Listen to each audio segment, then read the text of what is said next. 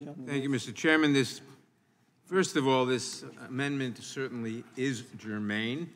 It goes to the heart of the evil bill that we are considering, and I strongly support it. The gentlelady from Wyoming talked about men competing in women's sports. Men do not compete in women's sports. Transgender women may compete in women's sports. It does no service to the truth or to human biology or understanding of human biology to maintain that there's no such thing as transgender women, or for that matter, transgender men. There most certainly are. We know that. We see that. People did not ask to be born transgender any more than any of us asked to be born male or female. They just were born that way. And now we have this bill that wants to punish them for it. I strongly, I strongly oppose the bill. I support the amendment. The amendment would require NGBs to commit to submitting annual reports to the U.S. Olympic and Paralympic Committee describing the impact of prohibiting transgender women and girls from participation in amateur athletic competition on the participation of women and girls in those amateur athletic competitions. As I mentioned in my opening statement, I oppose this legislation in part because its blanket ban will harm all women and girls, in addition to all transgender women and girls. This blanket ban will likely subject all women and girls to unfair scrutiny of their gender identity, to physical inspections, if not lead to outright subjecting them to invasive screening procedures. It also would likely lead to increased harassment of any other person perceived by anyone as not conforming to harmful and discriminatory stereotypes based on some people's expectations of femininity. I have no doubt that this increased scrutiny and harassment will have a negative impact on all women and girls' participation in amateur athletic competitions. I think it important that the U.S. Olympic and Paralympic Committee and the public be made aware of the costs imposed on all women and girls when transgender women and girls are targeted for discrimination. Should such an immoral, awful bill ever become law. While I still would not support the underlying legislation if, if adopted, I would urge members to support this amendment. It slightly improves an awful, evil piece of legislation. I urge the adoption of the amendment and the defeat of the bill. Uh, the gentleman yields back. The question occurs. Oh, Ms. Jackson, Lee, I'm sorry. Point of order is withdrawn. Ms. Jackson Lee is recognized. Well, I thought that uh, Chairman uh, Biggs was going to offer his support for the legislation. I was going to yield to him. Uh, he supports the legislation. He probably doesn't support the amendment. Uh, and, and uh, well, in particular, this, this amendment. Let, let, let me, um, uh, I don't even want to get into the weeds of the details of a very fine amendment. What I think um, is the crux of the wrongness of our presence here today in the underlying bill is a very attack on humanity.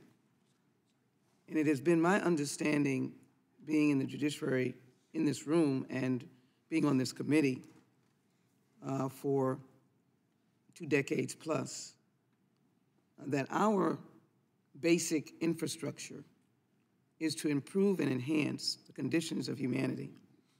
We use the Constitution in some instances, very proud document that we utilize as members of the Subcommittee on Constitutional Law that deal with the basic uh, life of Americans.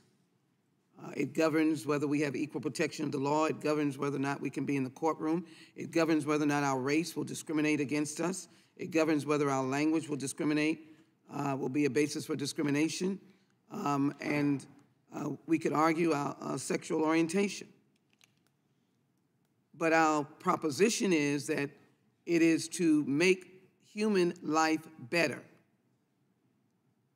This bill attacks humanity, attacks the very dignity of acts or conditions that one cannot change.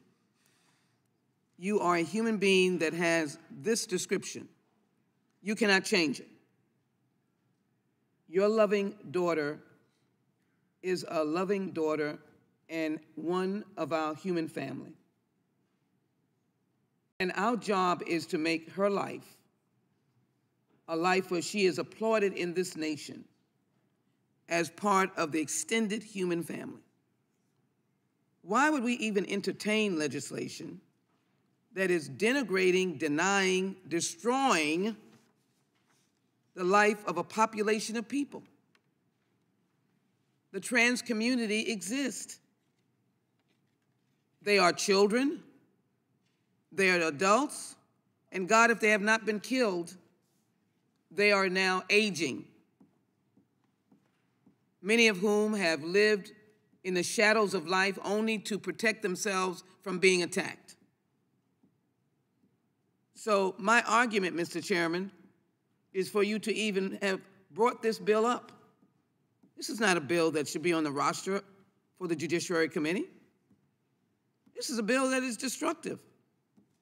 And if there are particular cases that need to be addressed so that there is fairness, I wrote the legislation, the anti doping legislation, proud to have that signed uh, dealing with the Olympics to stop doping in the Olympics, signed by President Trump to enhance the quality of performance, and when I say performance, the level of uh, equality in the Olympics someone would not have drugs in their system, enhancing drugs.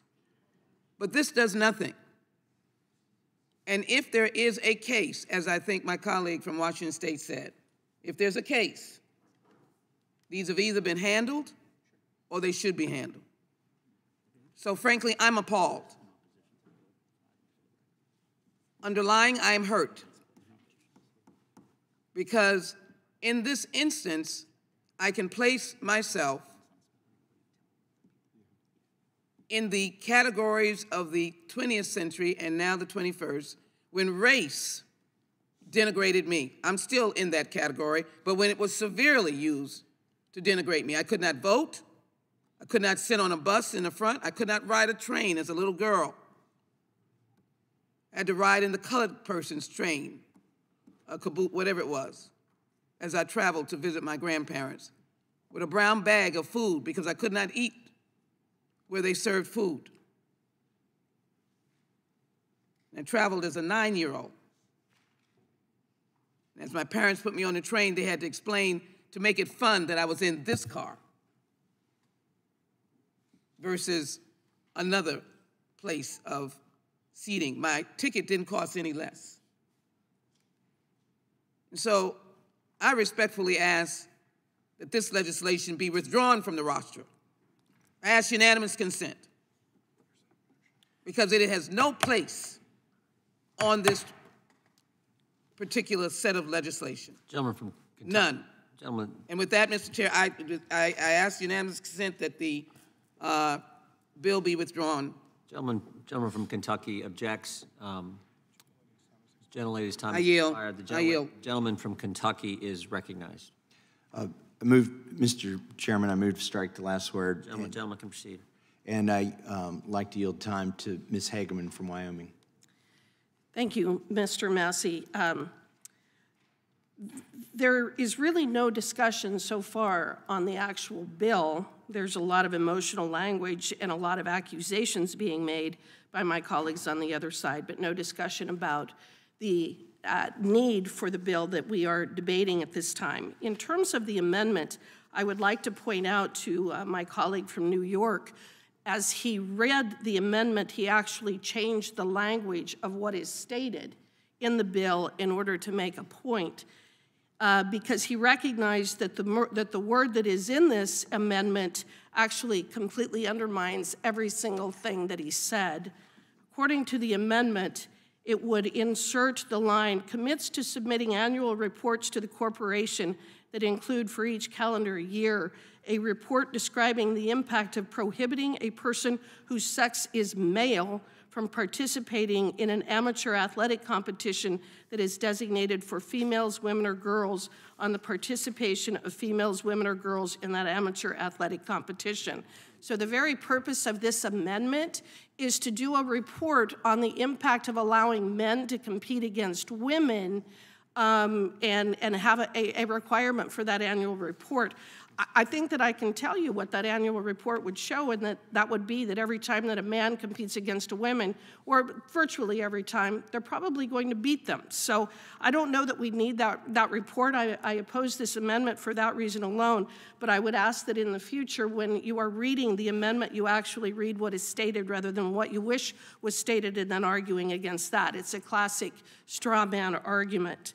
Um, on the other side, there have been discussion about invasive screening procedures, and that if we adopt this, our bill, that there would have to be invasive screening procedures. In other words, this accusation that for any woman who was competing in athletics, they would have to be subjected to a physical examination. First of all, it's a red herring. It's stupid as all get out, and it's just absolutely not what has happened historically. But I would point to the policy by the U.S. Boxing uh, uh, Association, which actually requires that very kind of screening. Um, it must state that the boxer who transitions from male to female is eligible to compete in the female category under the following conditions. The athlete has declared that her gender identity is female and has completed gender reassignment surgery.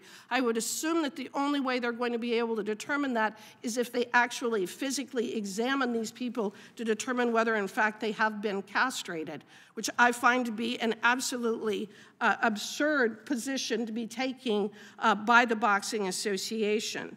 Um, I, I, would also say I, I, do not need to be lectured by a man on the issue of protecting women and girls in sports or what a woman actually is. I know that. I, I know what a woman is.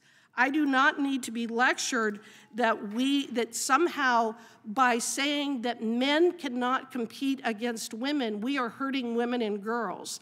That is an insult to women and girls. It is an insult to me personally that you believe that I am not capable of understanding the difference between women and girls and men and boys. Um, I also believe that the entire argument is focusing not on the issue at hand, again, whether men and boys should be able to compete against women and girls in the Olympics, which is all that this bill does. I would ask unanimous consent to submit for the record the instances of men hijacking women's sports and the various uh, uh, examples that we have demonstrating not only the injuries that have been suffered by women as men have participated in, in, in girls' sports, but also the women who, girls and women who have been affected by this, including uh, uh, uh Riley Gaines when Will Thomas de decided to, to join the the female, the women's uh, swimming team in Pens uh, Pennsylvania. Again, this bill Without is objection. about- I object to uh, concluding these mistruths in the record. There's an objection. Okay. I think that speaks volumes as well. If you do not want in the record the information about the impact that men are having on female, on women's athletes, I would also submit for the, ask for unanimous consent to submit to the record three articles, USA Boxing Slam for new transgender policy that allows biological men to compete against women. Objection. Boxing champs Olympic gold medalist rip USA Boxing over transgender policy. Girls need to stick together. And USA Boxing codifies rule allowing male participation in women's division. Without objection. Gentlelady's time is expired.